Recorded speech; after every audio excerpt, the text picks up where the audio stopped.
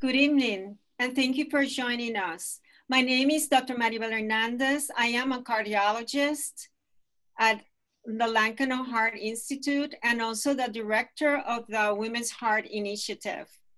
The Women's Heart Initiative is a program which was created to encourage women to learn the truth about heart disease and the risks it poses, and to use that knowledge in order to make the best decisions and to be your own advocate for your healthcare in order to make the best and to get the best and equal treatment and to live healthier lives.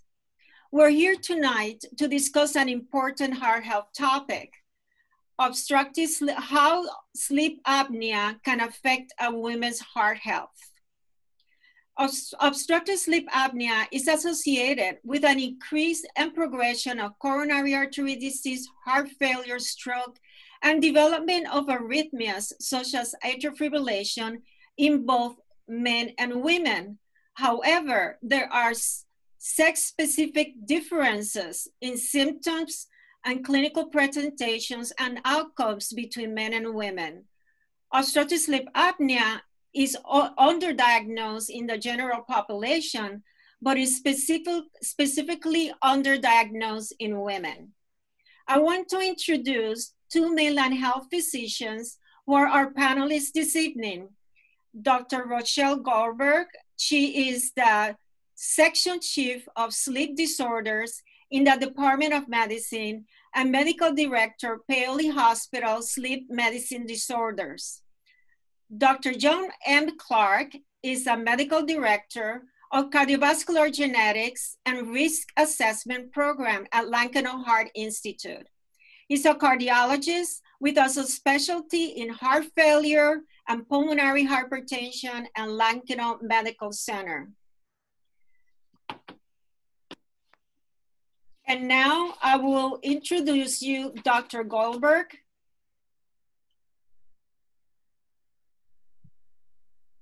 Hello, everyone. I'm sharing my screen now so we can get started talking about one of my favorite topics, which is sleep apnea and how it affects women and what that means to heart disease in women. Let's see if we're here.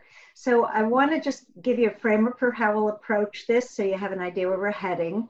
And uh, we're going to have uh, organized kind of in what you want to know, what you need to know, and then what to do about it.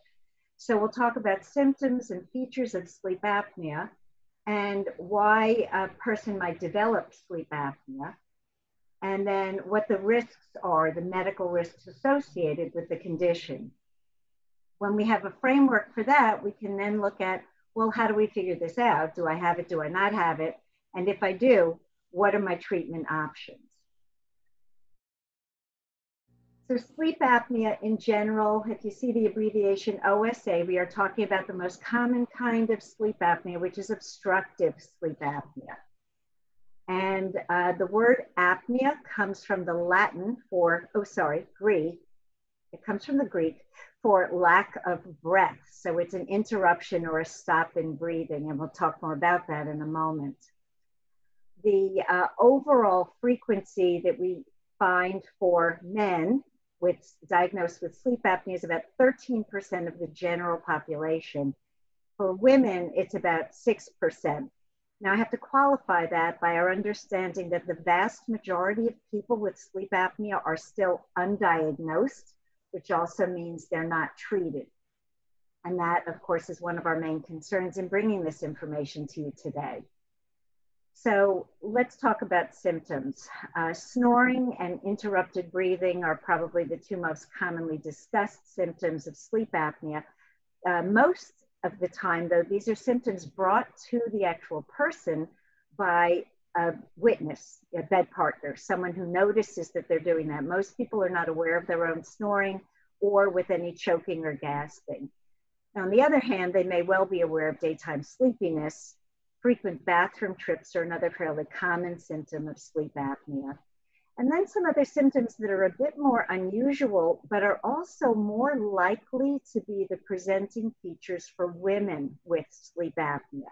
Morning headaches, uh, feeling more of that I don't sleep well, trouble staying asleep, my sleep is non restorative, loosely called insomnia, and depression. So, again, a woman may not present with the typical sleepiness symptom, but may have more of these other features. So, we already know that uh, this is a more common condition in men than in women, but for both genders, age, increasing age increases the potential for developing sleep apnea. And particularly for women after menopause, there is a definite uptick in the risk for developing sleep apnea. Excess weight can play a role for both genders. Genetics, of course, is another possibility. Uh, these are conditions that can run in families.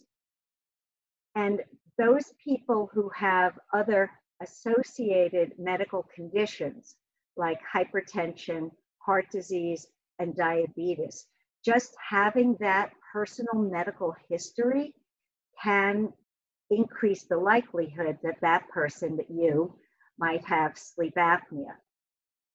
And if we look at the population of people in a hypertension clinic or in a diabetic clinic or other heart disease clinics, those numbers that we talked about before, the 13% and 6%, those numbers can be much higher. They can be 50% of someone in a diabetes clinic or in a hypertension clinic, especially if there's overweight. So how uh, how does this happen? Why do we have? Why would a person have sleep apnea? So I don't want to scare you, but I'll tell you that everybody in normal sleep at night has some interrupted breathing, or you know, just about everybody. And this happens because of a normal change in breathing while we sleep. We relax. Normal sleep, relaxed, low tone, low demand is the way the body heals itself in sleep. So just like if you're reading a book and you start to fall asleep, you're going to drop, you know, the book will drop. If you are relaxing the rest of your body and the upper airway, then the upper airway muscles that make up that path will relax. And as a result, the path itself gets a little more narrow and a little floppy as part of sleep. If you don't have snoring or sleep apnea, there's still room for the air to flow through properly. But when this narrowing or collapsibility increases or becomes higher than that of the rest of the folks, that's how you might be aware of or told about snoring because the air is still trying to get through. The brain is saying, take the breath. The muscles of the chest and belly are trying to get that air in, but the path is more narrow. The air will pass through and be more turbulent, making the air path vibrate. That's how you snore.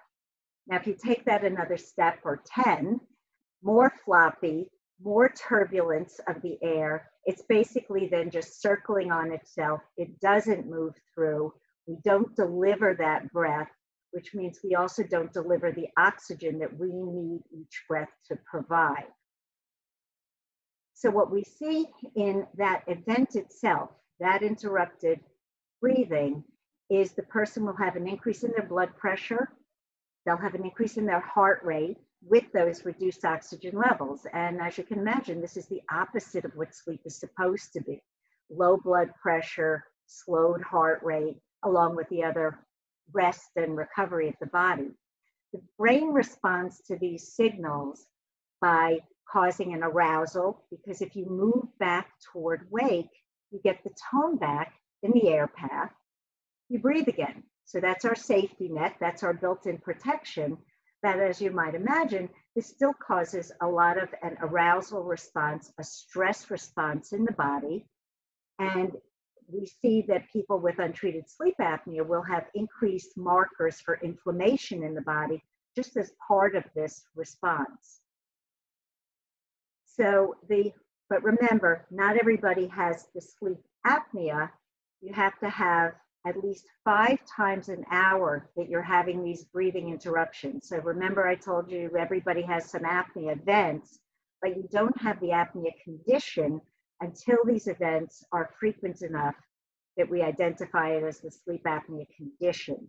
and that would be with at least five times an hour of the interrupted breathing. I'll talk about that in another minute when we talk about the testing. So the risks for sleep apnea do include male gender, older age, excess weight. And the reason that's in red is because you do not have to be overweight to have sleep apnea. And this is another place where women often are unrecognized or not accepted as possibly having sleep apnea because if they're not obese, then it's thought that they shouldn't have sleep apnea. You do not have to have extra weight because a lot of it is based on the internal way that your air path is taking up space. And if you have the right collapsibility in the tone or a narrowing of the airway anyway, you can still have greater interruptions in breathing during sleep. Jaw position and size can make a difference in the space of the airway. A thick neck can encroach on the, the uh, airway. And then there's some lifestyle things like alcohol, smoking, uh, medications or drugs, especially things that are sedating or for pain, because they relax the muscles more. And in sleep, they prevent us from having as quick a response to the interrupted breath. So all of this sounds like it's not very good sleep, it's not very restful, and why on earth would anybody want to be doing this? Of course, it's a change behind the scenes, it's while we're sleeping. So the symptoms we talked about before are part of the reason that we want to treat this condition. Person walking around all day feeling sleepy, they're not going to feel as productive, they can be a little more cranky, uh, they may be aware that their sleep is disturbed, the headaches I mentioned, and mood, irritability, focus, concentration, processing, all of those things can be impacted in a person with sleep apnea. And one of the sneaky parts to this is that because you don't go from having some normal interrupted breaths at night to suddenly having multiple, multiple times an hour of the interrupted breaths. So we don't really recognize the changes that this has on us. We assume I slept this way last night, I slept this way last week or last month. It's probably the same, but this is the development of sleep apnea.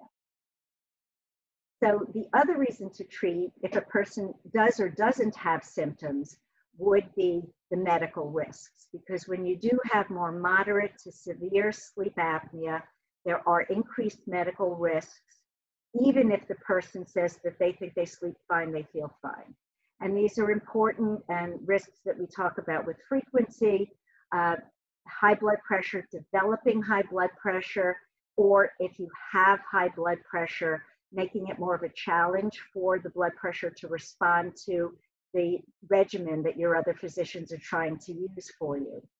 Uh, people can have an increased risk for heart failure, uh, where the pump isn't working as well, and I'm sure Dr. Clark will bring that up, as well as the risk for heart attack and heart rhythm problems, irregular heartbeat, uh, extra beats, and atrial fibrillation. Again, you'll hear more about that from Dr. Clark increased uh, blood sugar problems with full out diabetes mellitus have also been noted and stroke. So again, we're trying to reduce those risks by treating sleep apnea. And if the person already has these conditions, we're trying to get the sleep apnea out of the way so they can respond better to their other treatment options and, and availability.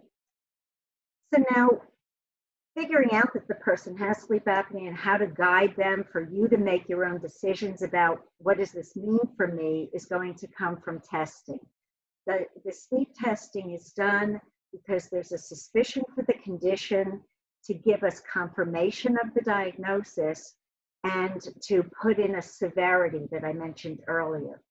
So the old fashioned way, so to speak, and still commonly done in the right person, is the in-lab overnight test, which involves quite a few wires and sensors and is an unusual environment because you're not sleeping in your home. But um, most people actually sleep better than they think they will, partly because they're sleepy from their sleep apnea. Home testing is now done quite frequently.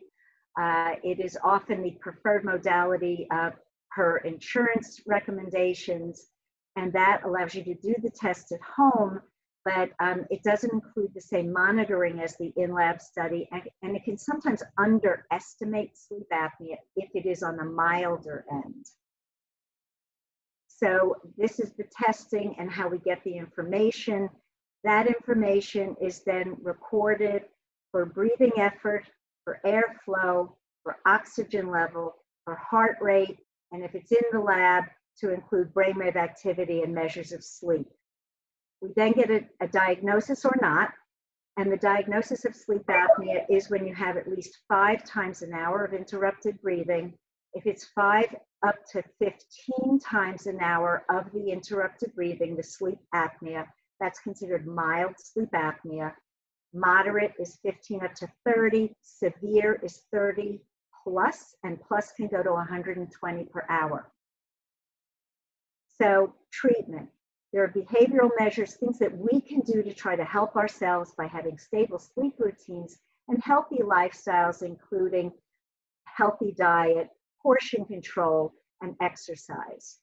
Uh, weight control and avoiding alcohol, sedatives, and pain meds are also things that can help reduce having these apnea events.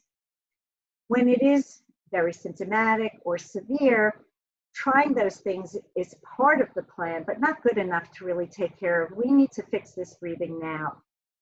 Positive airway pressure or CPAP that many people now have heard about is medically considered a first choice approach because it will keep that air path propped open. This is a motor with a blower and a small mask, sometimes just what we call a nasal pillows, and sometimes one that's more of a nose and mouth mask. That's very individual. They're not all like this anymore. But the air pressure is delivered to prop that path open. Remember the floppy path, the collapsible path? Now it's going to stay open enough to let the air through, deliver that oxygen, make the breathing quiet because it's moving through properly, and we then can stay asleep through the night because we're breathing. Oral appliances are second line treatments because they don't have quite the same success as the CPAP. Upper airway nerve stimulation, there are a lot of TV commercials for this lately, is just uh, that. It's a nerve stimulator that's implanted on the tongue nerve or the hypoglossal nerve. It is a surgical procedure, which if you've heard the ads, I think they don't always make as close, it as, as clear it does have a good success rate, uh, 85% success, but again, a surgical procedure. Position modification, some people have most of their events on their backs, trying to keep them off that position can be helpful in certain patients. And then there's the question mark on that slide because there is research being done now on a number of other options, including the potential for medication. Uh, sorry for the pun, but don't hold your breath on that. It's going to be a little while. So before I end and pass the baton uh, to Dr. Clark, I wanted to bring up a separate situation. This is central sleep apnea. This is a much less common condition, but again, it can be more common in people with heart disease. And uh, the situation here is that the brain signal to take the breath is just not happening on time. And when you don't get the breath signal to take the next breath, your air path is open, but there's no signal to try to draw the air in. And as I mentioned, heart disease can be associated with this. Heart failure, atrial fibrillation are commonly associated with this type of sleep apnea as well. And, uh, and so they can still have obstructive, but they can also have a separate central sleep apnea problem. Uh, stroke, opioids, and then our ever popular, we don't really know why, but the person doesn't take the breaths properly, are the other uh, reasons that we see this. For this diagnosis, you need in lab testing because it requires more sensitivity to the sleep itself and the measurements for the breathing effort or not. Uh, treatment can sometimes be positive airway pressure uh, which often requires a somewhat more sophisticated type of device rather than just the air pressure blowing in. Sometimes supplemental oxygen at night alone can at least help relieve the oxygen decreases. And a newer treatment, which has actually been out now for several years, is phrenic nerve stimulation. That's the nerve that, that works to get the diaphragm to move to help us bring the air in. This is a procedure that is done by my cardiology colleagues that goes uh, through the blood vessels instead of there being other cuts and other surgical things, such as we talked about with the other treatment for Inspire. So there are treatments for these conditions. There are reasons to treat these conditions. And we should never be afraid to ask questions if we think something is going on, because there are implications to not treating. I'm going to pass the baton to Dr. Clark. Okay, thank you. Let me just get my screen up here.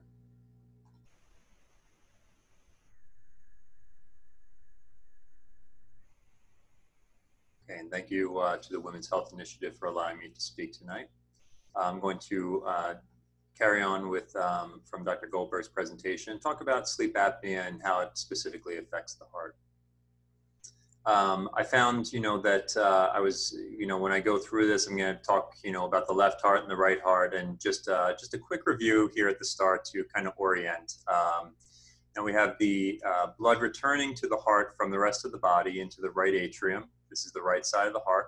Goes down to the right ventricle, comes out into the pulmonary artery, and then goes to the lungs, where red blood cells receive oxygen again, return to the left side of the heart, and then leave the left side of the heart and go to the rest of the body, delivering oxygen to and nutrients to where they need to go. So if we follow this red blood cell here, it's going to start in the uh, venous system, coming back from the body into the right side of the heart, exit into the pulmonary artery and go to the lungs. Pick up new oxygen here, travel back to the left side of the heart, and then out to the body. One continuous circuit there. So sleep disturbances, as, as have been discussed, adversely affect cardiovascular structure and function. It's a bit of a busy slide here, but if we look here, this is kind of flipped over from what I showed you earlier effects of um, sleep apnea can cause high pressures uh, on the right side of the heart and cause the right sided chambers to dilate. The top chamber, the left side of the heart, can also dilate. And the left ventricle, the main pumping chamber to the body, can thicken with uh, sleep apnea. As Dr. Goldberg said, sleep apnea affects approximately 6% of women, 13% of men. This might be under underestimated. Um, having sleep apnea triples the chance of having a heart attack, doubles the chance of having an abnormal heart rhythm called atrial fibrillation, increases the incidence of high blood pressure, and increases the chances of having heart failure by about 58%. When we compare women without sleep apnea, obstructive sleep apnea, to women uh, with obstructive sleep apnea, they're more women that have it are more likely to have another comorbid diagnosis such as cardiovascular disease, hyperlipidemia, diabetes, asthma, hypothyroidism, joint pain, and reflux or gastritis, inflammation of the stomach. Now, some of these things are going to be connected, and, and there's some interplay between sleep apnea um, and some we don't uh, have a clear link for it yet. So coming to this circle here, uh, in obstructive sleep apnea, Dr. Goldberg talked to you about some of the symptoms that we might find, non-cardiovascular consequences of it. When we come over to this other side, um, we have pathways which cause uh, cardiovascular consequences of sleep apnea.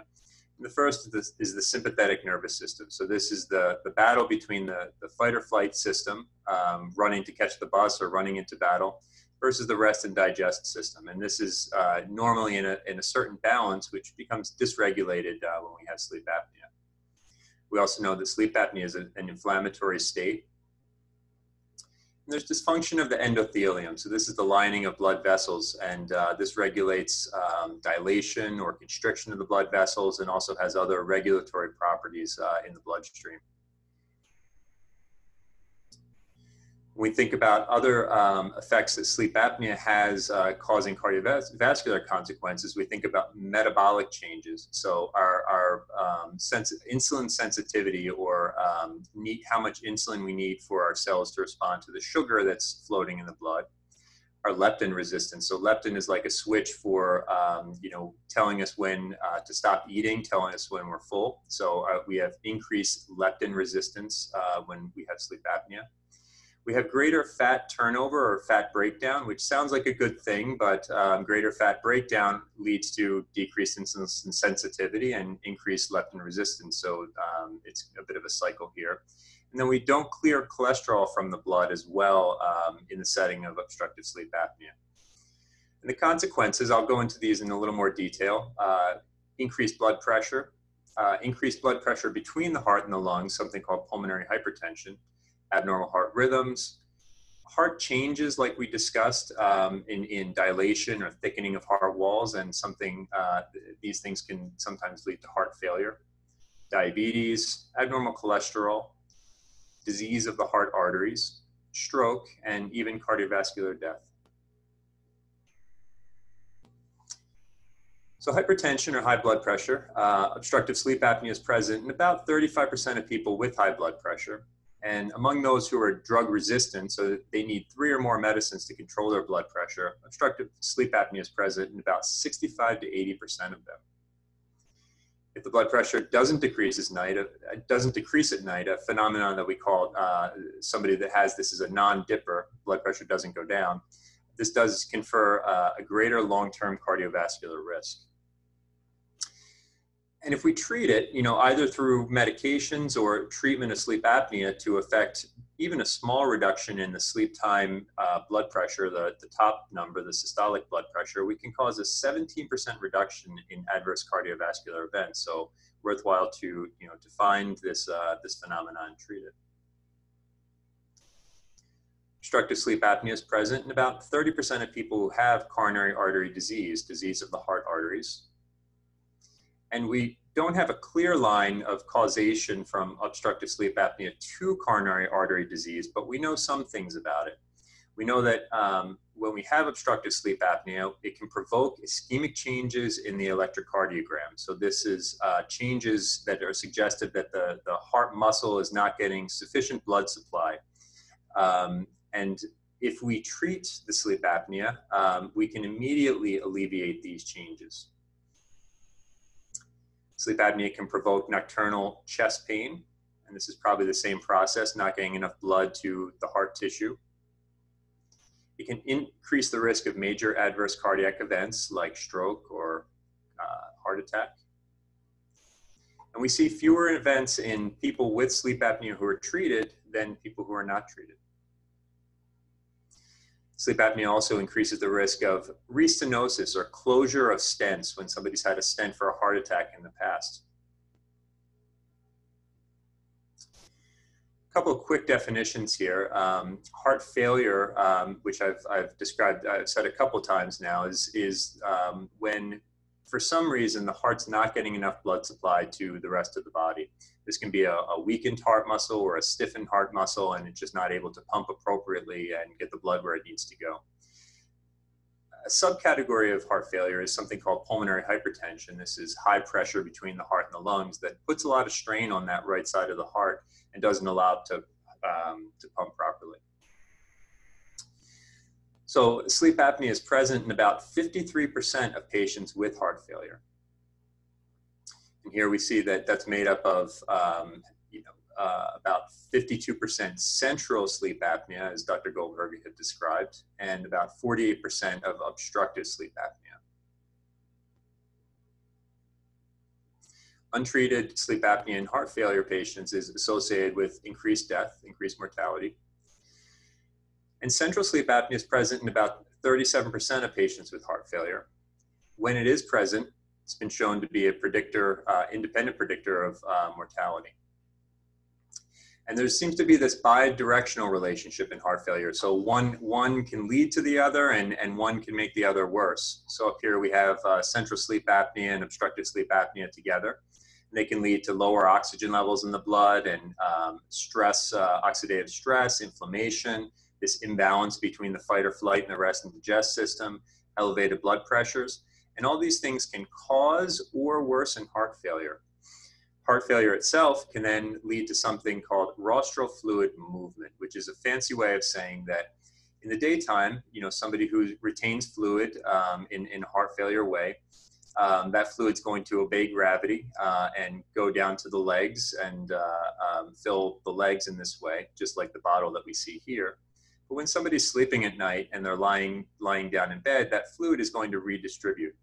And when it redistributes up into the, um, the muscles uh, that surround the neck, um, then it causes higher tissue pressures there and can cause that airway to obstruct or cause an obstructive sleep apnea. When that fluid redistributes into the lung area, um, that can cause actually a dysregulation in how the lungs and the brain talk to each other, and that can cause a form of central sleep apnea.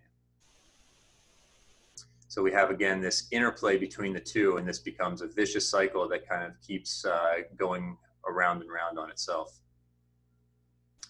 The severity of obstructive sleep apnea and central sleep apnea in heart failure patients is proportional to that particular person's dietary sodium intake, so likely as a consequence of salt and water retention. We do see abnormal heart rhythms in, in sleep apnea. The most common that we see is bradycardia or slow heart rates, and this can be seen in up to 95% of people with obstructive sleep apnea.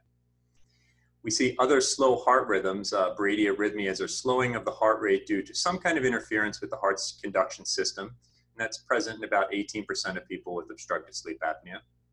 When we see increased severity of sleep apnea as measured by the apneic hypopneic index, we see increased occurrence of these slow heart rates. We also see ventricular arrhythmias. So these are abnormal heartbeats or heart rhythms that come from the bottom chambers of the heart. And these can sometimes be more hostile.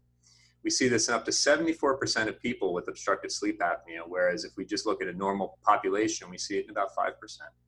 And it's usually observed overnight at the end of an apneic episode. Abnormal heart rhythms occurring with sleep apnea are reduced when we treat the sleep apnea.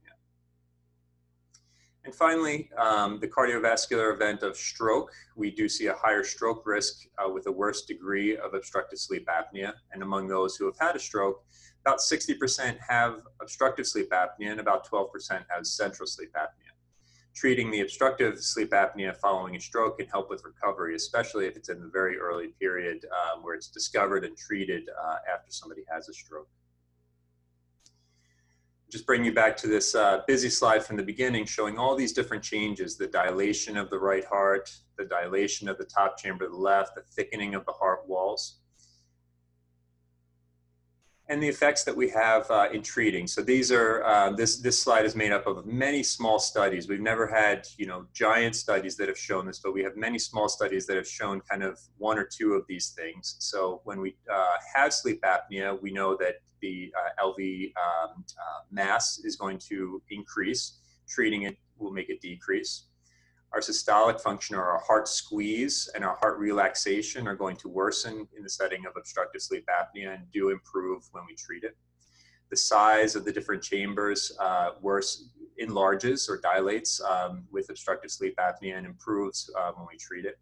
And finally, the pulmonary pressure, the pressure between the heart and the lungs, worsens with sleep apnea and improves when we treat it.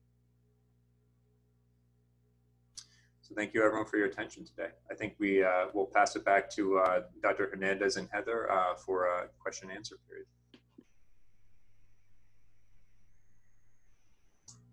Thank you very much, uh, Drs. Goldberg and Dr. Clark, uh, for these uh, really interesting and great presentations. Um, we asked the audience to submit questions ahead of time, and we had a lot of good questions.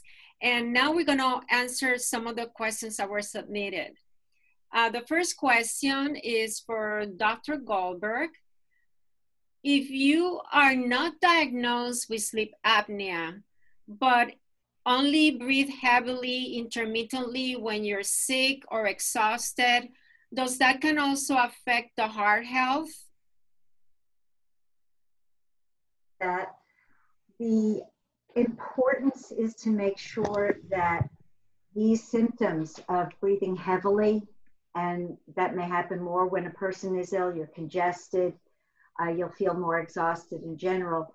It's, it's important to make sure that those can't also be symptoms of sleep apnea relating to breathing. As I mentioned earlier, the symptoms are not always obvious to the person. So uh, if you do have just bad allergies or other other reasons for head congestion, chronic sinus problems, things of that nature, they don't tend to have the same impact on the breathing during sleep. They don't they don't make the person have other of the changes we talked about with the implications of not being able to get the air through or not taking the breath. So the direct connection with um, other health risks, I think, is less clear, and especially because many of these things are intermittent symptoms. You know, we have a bad cold, you get over it, you go back to normal. The difference with sleep apnea is that there's no break in the action. If you have sleep apnea when you're sleeping, you have those same negative experiences happening every night and all night. Thank you. Uh, Dr. Clark, for those patients that are I, uh, have heart failure or are fluid overloaded, could CPAP in the future be a treatment option uh, to improve their heart function? So we, we do see minor improvements in heart function or heart squeeze, what's known as the ejection fraction when we, when we treat sleep apnea. It's probably not the whole story here. Um, you know, when, when somebody has heart failure, you know, we do want to try to get to the bottom of, of what's causing it. We do, in some cases, have specialized medicines that can prolong life and keep people out of the hospital. And we should, uh, we do need to focus our efforts there as well as decongesting somebody and getting all the extra fluid that they have out. Um, that in turn can help with the sleep apnea on its own, plus the treatment on top of it can help really keep the balance and keep that extra fluid off and keep somebody feeling well when they have sleep apnea and heart failure. Uh, what uh, Dr. Goldberg, I, we have a question. Um, I have an old CPAP that has not been used for a year is it okay just to use the same one again or you need to get a new one, be reevaluated? It depends on how old that uh, old CPAP is. Certainly, if you have a machine that hasn't been used for a year, regardless of age, it depends on where it's been living in that time. Has it been in its case? Has it been in a protected bag? Uh, or is it just sitting on a shelf in the basement gathering dust and many other unpleasant things? So your concern about the cleanliness of the device is an important one and I would certainly suggest that uh, you have the device checked out by the equipment company that may have provided this to begin with to make sure that it is safe to use. You know, common sense would of course say you clean it off, you wipe it off, uh, you make sure that the supplies are not a year old because they won't work well uh, having sat around. So it's the blower itself you want to make sure is functioning right, but make sure that the supplies are updated. If this is an old machine, uh, for uh, depending on which insurance uh, is, is relevant here, Medicare will say that you are usually allowed to get a new machine at five years as part of a built-in obsolescence. Uh, so if the machine is that old, it is possibly better, especially if it's been on the shelf, to just uh, follow up with your with your doctor. You know, you want to get back in touch with your sleep doctor if they haven't been involved in a year, and uh, and make sure that uh, the right studies are made or the, just the order made for you to get an updated device, and to make sure that it's followed after that when you're motivated again. And I'm pleased for you uh, to get this going and get back on treatment. It's never bad to start again. Thank you. Um, Dr. Clark, can wearing a heart monitor detect sleep apnea?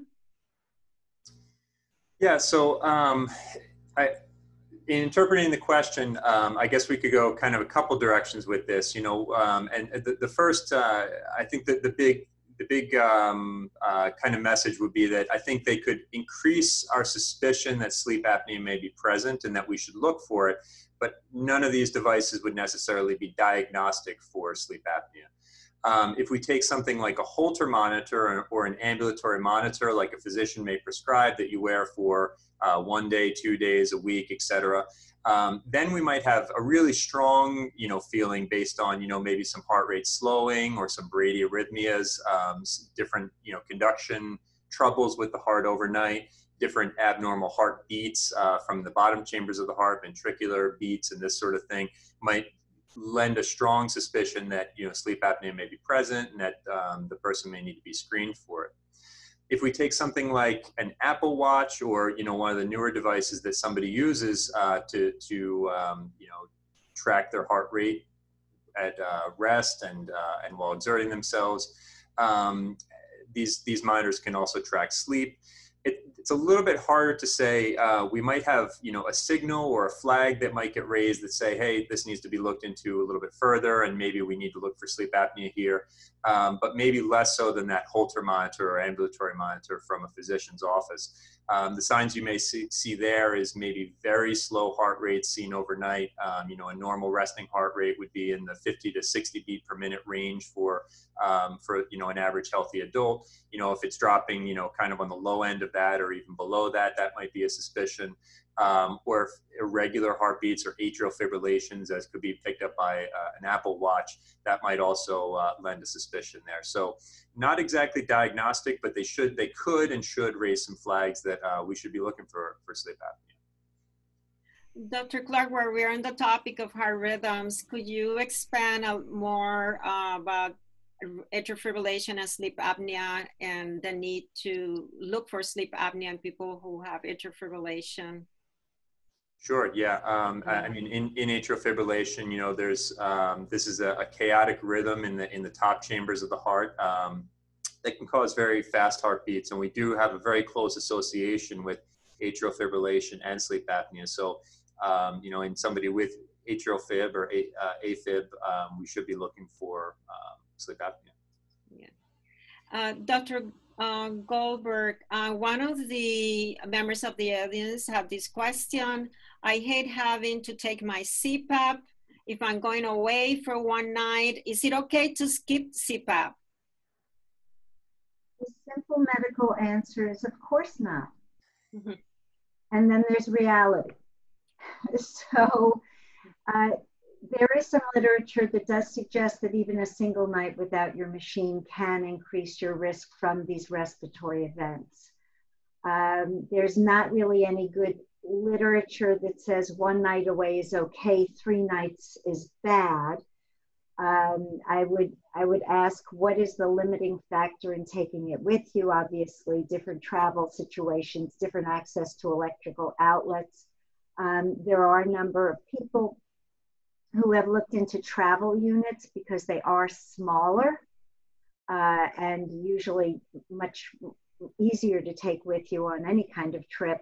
Uh, the problem is that medical insurance does not consider them medically necessary because they already paid for one type of unit, and um, and it, the self pay is not a small amount. Uh, if you also know that when you skip CPAP for a night, you feel awful the next day, and everybody who shared a hotel room with you is mad at you, I would suggest that it's probably better to take it along and maybe somebody else can carry it. If you know that your apnea is milder, and again, you're basically healthy otherwise, and you say one night, I don't think it'll be a problem, then you're probably right but do give it some thought to what are the implications as opposed to just, oh, it's another thing to carry along. Okay. And I have a question for Dr. Goldberg. Uh, could you expand uh, a little more on relationship uh, menopause uh, and sleep apnea and if any effects on the heart health, if it's uh, more common after menopause and what are is there any more significant heart health effect after menopause sure Yes, so we know that um, women do have a substantial increase in the risk for sleep apnea in the perimenopause. So as your periods are starting to get more irregular, and uh, and once you're in menopause, with the official definitions that are used there, uh, and some of the reasons for this can be associated with weight gain that many women experience with menopause. But you do not have to gain weight with menopause for you to have increased apnea risk because much of that is also determined by a number of hormonal changes that, uh, that the person goes through. So we shift from, I'll call them more protective, breathing favoring hormones like estrogen and progesterone, which is what we have through most of our, uh, of our years before menopause, to a lower level of these and more of a um, male, not fully obviously, but male uh, contingent of hormones, which are less airway protective. In fact, um, just as a sidebar, a testosterone supplement for a, for a man who has low testosterone has been shown to potentially increase sleep apnea in that person. So if a woman is going through menopause and having a shift in those hormones, that does seem to increase the risk for sleep apnea. Uh, the implications for health are uh, similar in that anyone with significant sleep apnea does have these cardiovascular risks, but I think that you also have to weigh increasing risks for those things as a comorbid condition, not just as an outgrowth of sleep apnea. So uh, I, you know, I always encourage women to have conversations with their gynecologists, who sometimes are still their only provider, uh, to get these questions addressed. Uh, we all know that many people can sleep less well because of the, the what we call the vasomotor reactions, which is commonly what you'll talk about with night sweats or, um, or hot flashes. And I'll bring back that anything that disturbs sleep, even if it is not apnea, does have some implications for increased cardiovascular risk, to, to increase heart health risks. So you don't even have to have apnea, but if your sleep is disturbed, this is also something that's important to discuss with your provider. What, why is it disturbed? Treat the reason it's disturbed, but be aware that it's not healthy to not sleep well. Thank you, Dr. Goldberg and Dr. Clark. Um, for answering all these questions. Um, if you also, if you have any questions about your heart health or about more of our Women's Heart virtual webinars, or if you want more information about our Women's Heart Initiative educational programs, or any question that anything we can help you, uh, we are available by email, mlh women's heart at mlhs.org. Uh, thank you everybody for joining us tonight and have a wonderful evening.